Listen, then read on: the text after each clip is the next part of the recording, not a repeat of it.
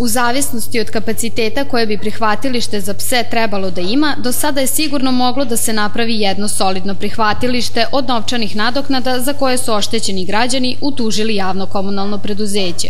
Odluku o tome koliko će novca oštećeni građani dobiti donosi sud.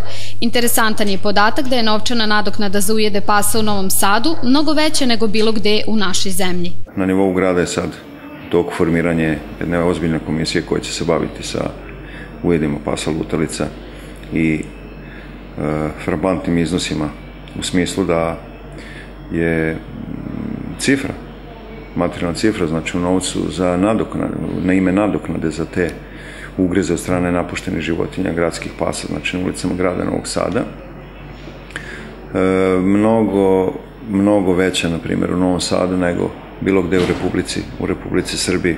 U roku od mesec dana broj tužbi građana povećao se za tri puta, što nas tera da se zapitamo da li se i broj pasa na ulicama Novog Sada povećao za tako kratak period.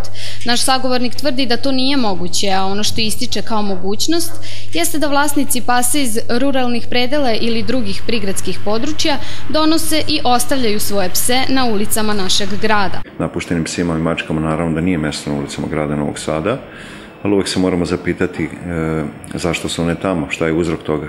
Prema tome uzrok toga je neodgovorno vlasništvo. Ako se budemo ponašali odgovorno prema neodgovornom vlasništvu, imaćemo rešenje problema za kraći vremenski period.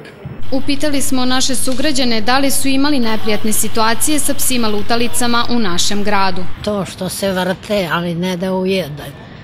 Uglavnom, vrte se svuda, pogotovo po periferiji.